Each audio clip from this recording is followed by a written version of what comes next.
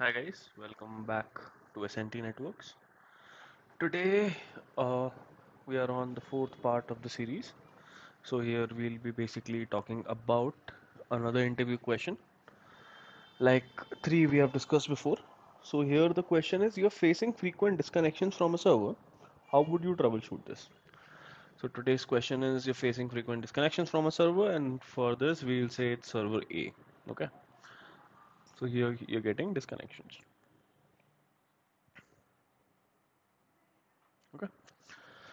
So in this server, you're uh, facing frequent disconnections. So what would be uh, uh, your basically steps as a network engineer in order to troubleshoot this?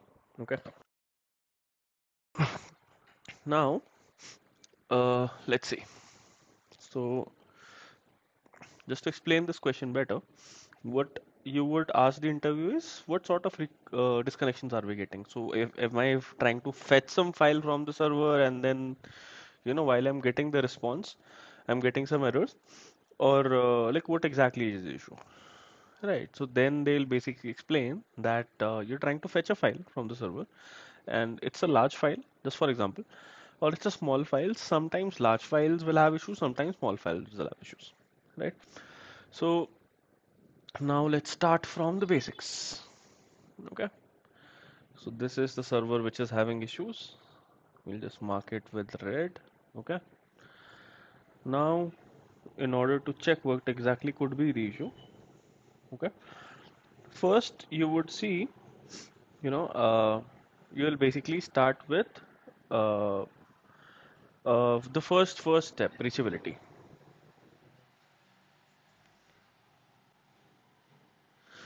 so okay now you'll ask the you know interview for uh, reachability. Then the interview will be like see i am able to access it but i am getting frequent disconnections okay? So for this one you know what would you basically be saying next is see i understand reachability but i what i understand by reachability is i'll put on a continuous ping. Okay i'll put on a continuous ping from client a to uh, what do you call to the server directly right so what process i follow is I ping from all the devices, intermittent devices. So usually there will be only two, three. So what I'll do is I'll put a continuous ping that is called ping hyphen t. Okay. So I'll put a continuous ping from A from the default gateway and from the firewall. And then I'll see where exactly I'm getting the issues. If I'm getting issues in all three, then the possible reason could be this link or server A. If I'm getting issues Okay, this is a very uh, good thing. Okay, I am asking you guys to note this down. If I am getting issues while uh, you know basically going from the default gateway and no issue uh, and uh, what do you call? I'm getting uh, issues while pinging from default gateway, with by continuous ping I mean, but not from the firewall. That means there is an issue with this link. Okay, and same goes for uh, the what do you call uh, the PC. If I'm pinging from PC and I'm getting issues, but I'm not getting any issues at the firewall end or at the default gateway end on both the pings. Only this is the issue. The, there could be an issue with the ACL or on the router, okay, or any client related issues. So this is first thing how you'll narrow it down. Okay. So if you're not getting any issues with ping, then means then it means that you know there is something else which is causing the issue. Any protocol, uh, you know, ACLs, ALG, whatever, is causing causing the issues for you. Then uh, there are two, three commands for reachability that you'll check. You'll do trace route Okay. And NSLOOKUP. Just to check if there is any intermittent DNS issues. Okay. You know, I know uh, anyway that the IP will be uh, cached, but still, still sometimes we do NSLOOKUP just to be uh, just to steer clear of the errors. And trace traceroute, try to do it at the time of the error. Once you get the error, quickly uh, you know have the traceroute command handy just press enter and check where exactly is the you know issue failing then by the way the underlying thing is physical connectivity first you check the physical connectivity then you check reachability then you uh, in reachability you check ping traceroute and ns lookup right and then what do you do uh, just to isolate the issue try fetching some other file paste the same file in B. So now we have already stated that you know we have multiple files which are causing the issues and it's from server A. So we will try to fetch another file, uh, probably the same file from server B.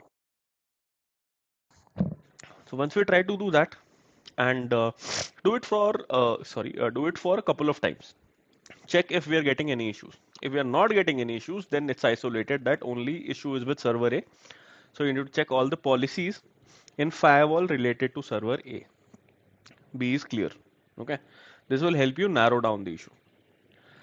Then you also need to basically uh, now you have checked all this. Now what do you need to do? Now basically go in uh, firewall. Okay. Check for policy trace. Third one is policy trace to check what exactly is the issue, like uh, to check which is the policy being implied, correct? And then the second one was uh, isolate the issue. Okay, that means we use server B and server C just to isolate if there's an issue with A only.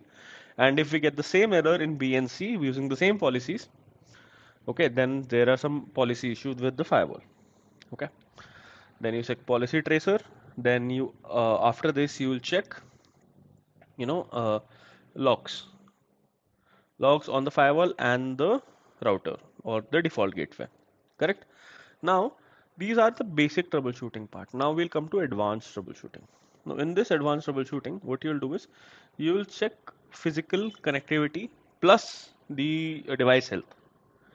Device health on both the system uh, both the systems. That means cpu memory size space like disk space size and all of that. Okay you'll check all of this. Then you'll check if there is any network issue in between if there is any culprit any switch in between which is causing the issues. Okay. Then uh, then uh, what I would say is try to basically at the time of the issue try to do uh, basically a port probe okay or an nmap correct? So fifth one is device health sixth one is port probe. You do a port probe or a device health check okay? And uh, now also try to check the latency. Once you try to ping at that time you will see jitter. Try to also check the jitter. The seventh point would be jitter. Okay the latency that you get. Correct?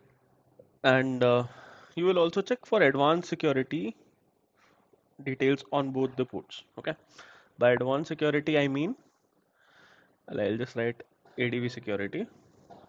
That basically is for DOS and DDoS attacks. Is something of that sort causing this? Okay.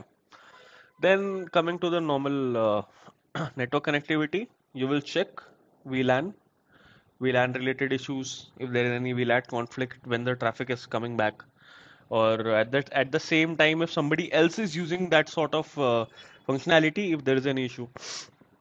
Then then you will uh, then basically you'll come on server a health. Okay? You'll see how many users are connected. User number. How many users are connected? Right? If that is causing the issue. So this is the way you'll troubleshoot a frequently disconnection from a server. You'll narrow it down from the logs you know from the device itself and then uh, you know this will basically help you narrow it down to a certain device and then mitigate the issue. Right? So this is how you will basically troubleshoot. Uh, you know when you're asked in an interview or when you will troubleshoot and how you'll say that you will troubleshoot an issue. You know when you're asked the question that you're facing frequent disconnections from a server how would you troubleshoot this? So this was the fourth part of the series. We'll do one more and then we'll move on to some different technologies. You can uh, you know uh, help me out in the chat box if you want uh, me to create a video on something else. I hope this was helpful. Thank you